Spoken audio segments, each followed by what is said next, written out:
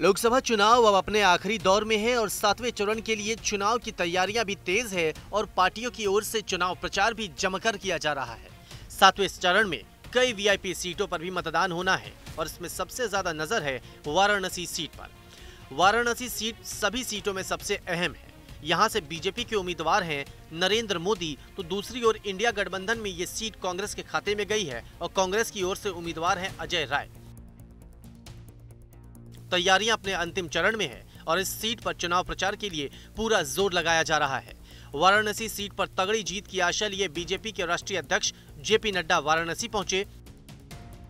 सातवें चरण के मतदान को लेकर सारी पार्टियों ने अपनी पूरी ताकत यूपी के तमाम सीटों के मद्देनज़र झोंक दी है और देख सकते हैं कि जेपी नड्डा भाजपा के राष्ट्रीय अध्यक्ष, इस समय बाबा काल भैरव काशी के कोतवाल यानी वाराणसी संसदीय क्षेत्र में मौजूद हैं और विधिवत पूजन अर्चन कर रहे हैं और यहाँ पर उन्होंने आरती भी की। सुबह का पहला कार्यक्रम जेपी नड्डा का काल भैरव मंदिर में ही था और सीधे आने के बाद इस मंदिर में उन्होंने बाबा के दरबार में मत्था टेका और विधिवत पूजन अर्चन करने के बाद वो आरती भी कर रहे हैं।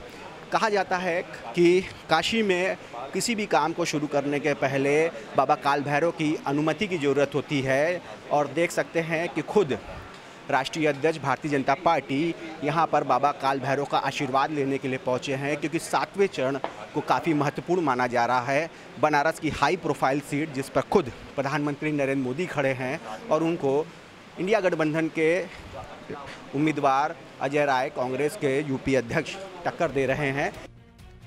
वाराणसी पहुँचते ही सबसे पहले बीजेपी अध्यक्ष काल भैरव के आशीर्वाद लेने के लिए पहुँचे। काल भैरव मंदिर पहुँचते ही बीजेपी अध्यक्ष जेपी नड्डा ने काल भैरव की पूजा अर्चना की और पुजारियों ने पारंपरिक तरीके से उनको तिलक लगाया और आशीर्वाद में फूलों की माला पहनाई। इसके बाद जेपी नड्डा उसी मंदिर में खुद को झड़वाते भी नज़र आए। काल भैरव मंदिर की परिक्रमा करते ही जेपी नड्डा बाहर आए तो एक चाय की दुकान पर खड़े होकर चाय की चुस्की ली। कार्यकर्ताओं के अलावा आम लोगों से बातचीत भी की। जब भी मैं काशी आता हूँ तो काल भैरव के दर्शन, काशी विश्वनाथ के दर्शन, संकट मोचन के दर्शन, ये हमेशा करता हूँ। आज भी जब मैं आया हूँ तो मुझे नई ऊर्जा मिली है। मैं काशी विश्वनाथ के भी दर्शन करूँगा और उस ऊर्जा के साथ दिन रात एक करके समाज को के काम में जुटूं और समाज मंगलमय रहे सब खुश रहें सुख शांति रहे देश आगे विकास करे और मोदी जी के नेतृत्व में जिस तरीके से देश आगे बढ़ रहा है उसे और ताकत प्रदान हो उस उस शक्ति को। और प्रधानमंत्री मोदी जी के नेतृत्व में तीसरी बार हम 400 पार करते हुए आगे बढ़े। आखिरी चरण में चुनाव के लिए हर पार्टियों की ओर से ज़ोर लगाया जा रहा है। फिर चाहे वो बीजेपी हो या फिर कांग्रेस। शनिवार को कांग्रेस उम्मीदवार के लिए प्रियंका गांधी और डिम्पल यादव की ओर से रोड शो भी किया गया था।